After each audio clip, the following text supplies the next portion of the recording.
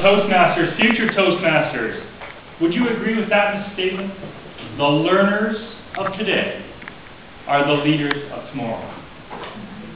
None of us are born with leadership skills, otherwise, there would be a lot of coups going on in those daycare centers. leadership is a learned trait. When I started in my leadership journey and my learning for my lifelong leadership lessons, I was 13 and I joined the Toronto Scottish Regiment Cadet Corps. Now, I thought I knew a little bit about leadership because I'd been in Cubs and Scouts and Ventures, and I had leadership positions there.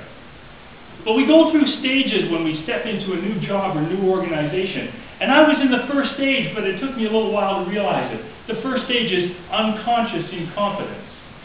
we don't know what we don't know. When I finished cadets, I had learned all about the principles of leadership to seek out and accept responsibility, flexibility, to treat others with respect to gain respect. There's eight more. but I learned them all.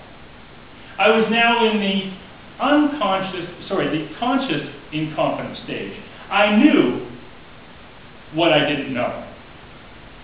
From there, I went on and I joined the Canadian Armed Forces. Imagine back in 1975, young 18 year old, out in Gagetown, New Brunswick, looking at my drill sergeant for the first time and having him yell and scream at me.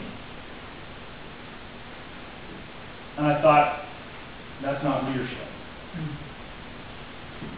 That's not leadership, and if we walk the walk, we need to learn that that's not leadership. Now, there's a reason that they do that in the military. First of all, they're making sure that you can handle pressure and be a leader under pressure.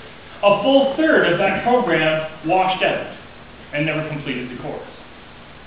I was one of the lucky ones that did. I went on and I after 14 years in the Army and retiring as a captain, I went on and I had several positions, uh, including a plant manager in a company where I met Janice, and who also dragged me here, by the way. and then I went on to another company where, where I had to learn leadership a little bit again, because it was my own company. And there were times when I wanted to yell and scream because it was my money that was out there. But that's not leadership.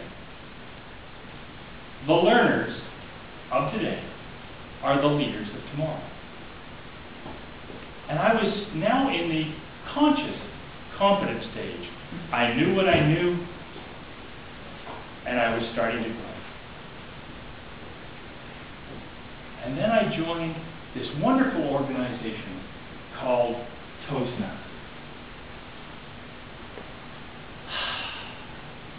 Leadership in Toastmasters is a little bit different. While the principles of leadership do not change, and they exist worldwide no matter where you are, the application is a little different. Because in Toastmasters, all the leaders are also volunteers.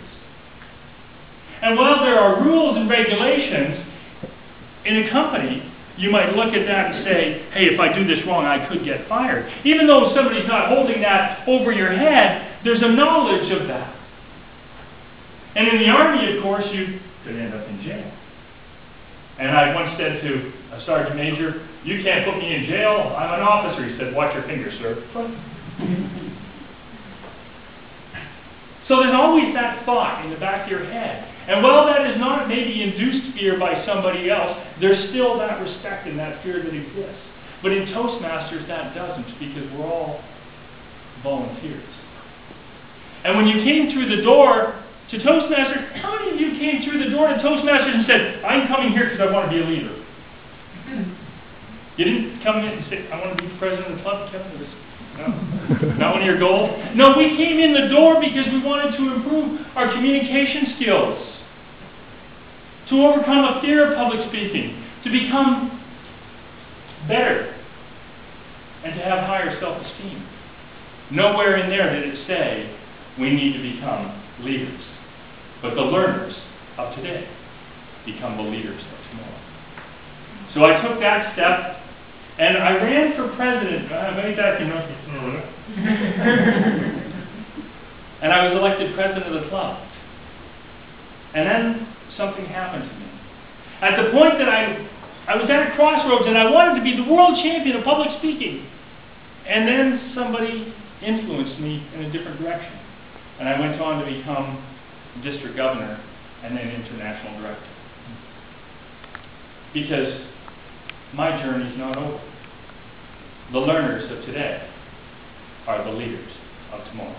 Madam Chair.